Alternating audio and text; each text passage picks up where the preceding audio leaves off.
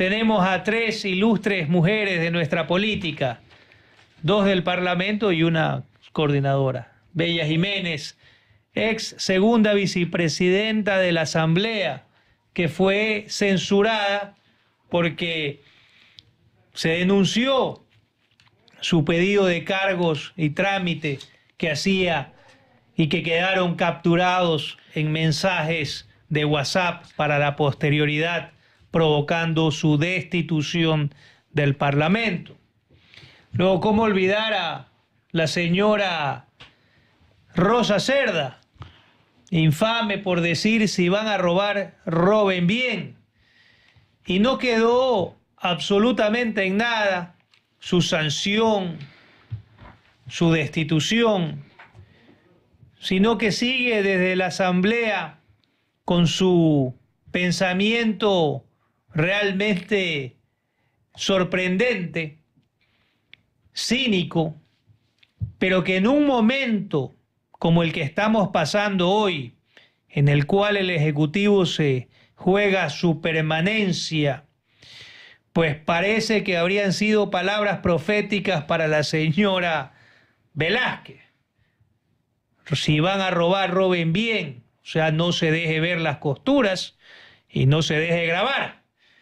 Y la señora que nos trae hoy con esta grabación que ha dejado horrorizados a algunos opinadores y a muchos políticos pidiendo un ministerio completo, nada de pasacafés ni cargos menores, la subcoordinadora peleando la coordinación de Pachacutic.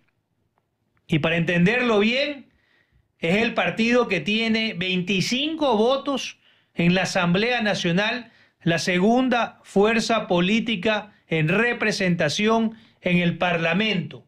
No es una cosa menor que dos ilustres figuras de esta formación política tengan este tipo de aseveraciones. Estamos ante la decadencia de los poderes del Estado, parecería.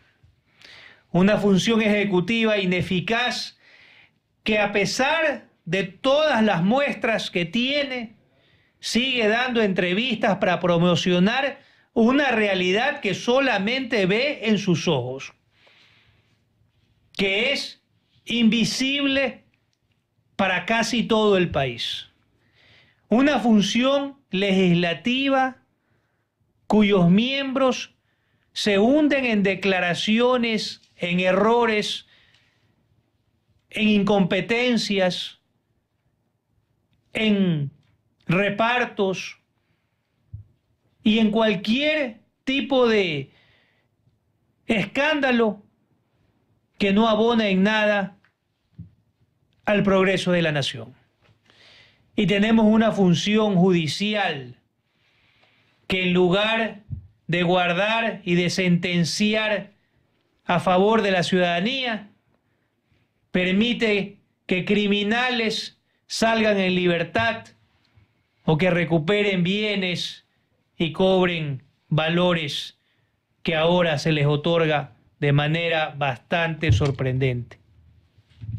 No hablamos de las otras dos funciones del Estado, porque estas tres son las principales. Pero vemos una realidad realmente deprimente. Mientras el país se despedaza, seguimos en un juicio político que cada vez tiene más factores que lo vuelven de un resultado impredecible.